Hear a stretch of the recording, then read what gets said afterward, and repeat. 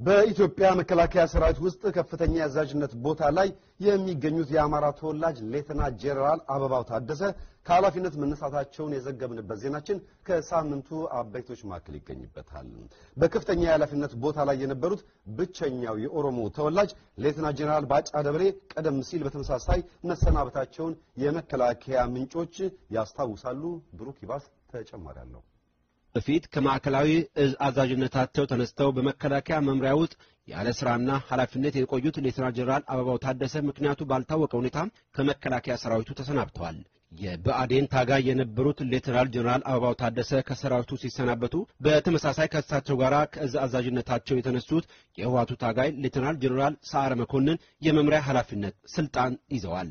ሌተናል ጀነራል አበባው ታደሰ በኢትዮጵያ መከላከያ ሰራዊት ውስጥ ካሉት ከፍተኛ አዛዦች ከጀነራል ሳሞራ ቀጥሎ ቀደምት በመሆናቸው ጀነራል ሳሞራን እንደሚተኩ በመከላከያ ሰራዊቱ አባላት ዘንድ ቢታመንም የአማራ ተወላጅ በመሆናቸው ቦታውን አይሰጧቸውም የሚለው ትንበያ ሲነገር ቆይቷል። ከሌተናል ጀነራል አበባው ታደሰ ጋር ከእዝ አዛዥነታቸው ተነስተው ላለፉት ዘጠኝ ያህል ወራት በመከላከያ ሚኒስቴር ዋና መስሪያ ቤት የቆዩት የውሃቱ ታጋይ ሌተናል ጀነራል ሰዓረ መኮንን የትምህርትና ስልጠና መምሪያ ኃላፊ ሆነው ተሾመዋል።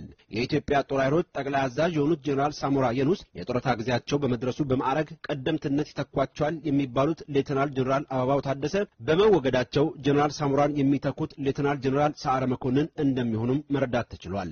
የመከላከያ ምንጮች በቅርቡ የሌተናል ጀነራልነት ማዕረግ የተሰጣቸው ዮሐንስ ገብረ መስቀል ጀነራል ሳሞራን እንዲተኩ የሙሉ ጀነራልነት ሊሰጣቸው እንደሚችል ግምታቸውን የሚያስቀምጡ ቢሆንም ሌተናል ጀነራል በአሁኑ ወቅት በተባበሩት መንግስታት የሰላም ማስከበር ስራ ላይ በመሆናቸው ይህ በአጭር ጊዜ እንደማይሆን ታምኖበታል።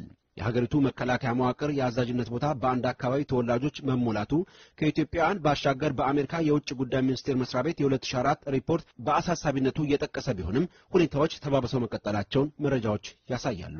በምርጫ 97 ማግስት በዘመቻ ከተወገዱት የኦሮሞና የአማራ ተወላጆች በኋላ ከፍተኛ ማዕረግና ስልጣን ላይ የቆዩት ሌተናል ጀነራል ባጫ ደበሌና ሌተናል ጀነራል አበባው ታደሰ ከመከላከያ በመሰናበታቸው የወታደራዊ አዛዥነቱ ስፍራ ይበልጥ ውጥረት እየተስተዋለበት መምጣቱን በመከላከያ ሰራዊት ውስጥ መነጋገሪያ ሆኗል። በአሁኑ ከውሃት ታጋዮች ውጭ በከፍተኛ ኃላፊነት ቦታ ላይ የሚገኙት የምዕራብ አዛዥ የሆኑት ሜጀር ጀነራል ብርሃኑ ዲላ መሆናቸውን የመከላከያ ምንጮች ገልጸዋል።